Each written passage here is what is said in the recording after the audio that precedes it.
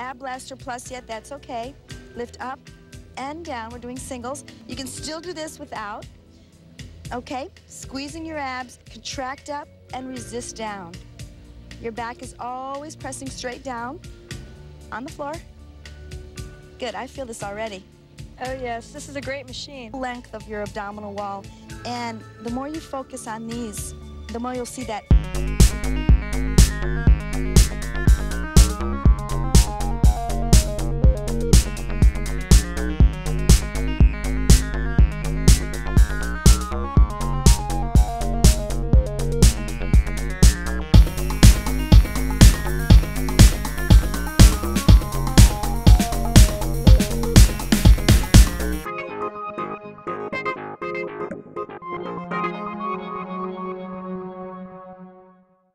and one. Now I'm gonna do three pulses.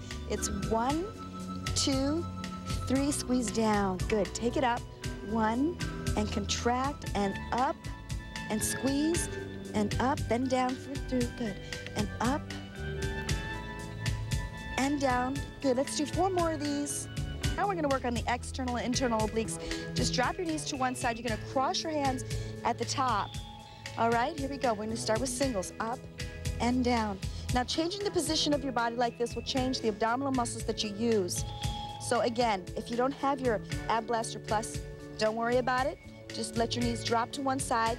Your lower back does stay on the floor. Okay, squeeze on the up and then down.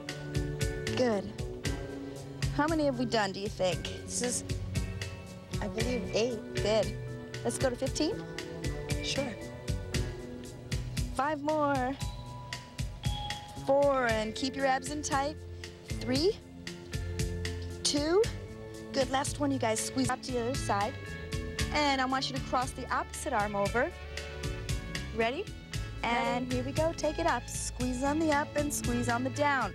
Now, notice what I just said? Squeeze on the up and squeeze on the down. You don't want to relax your abdominals at all. You want to squeeze on both directions. All right, we're going to finish off with another set. Let's take it back to the basic crunch. We're going to do isometrics, which really focus in and target. So here we go. I want you to lift up, hold, hold, squeeze, and resist down slowly. Everybody, take it up, squeeze, hold it up, hold it up, and down. Good job. Take it up. These are really, really tough. A great way to finish off your set. Take it up, squeeze, good. And down. Last two to go up, squeeze. Woo. All right, let's pull one knee into the chest as you roll up. We are going to focus on the back now. When you work your abdominals, you also have to work your back, which a lot of people forget about. So we're gonna get balance and symmetry. So I want you to roll over. Good, you're gonna lie all the way down. I want you to place both hands behind your head. We're gonna lift up, hold, hold, and then go down. Lift up and hold. Now when you're at two more, are you okay back there, Kathy? Yes, it's great. Good. Good, let's do one more. If this is too difficult for you, you can leave your hands on the ground and just lift up without your hands. Here's a modification. You can look at me and see this. Great. Or you can lift up one arm at a time. Okay.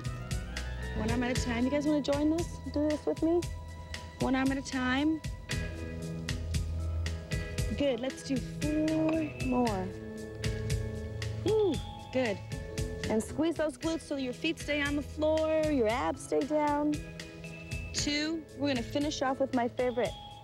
Remember what that is, you guys? Cat stretch. Before that, Kathy's ready to stretch.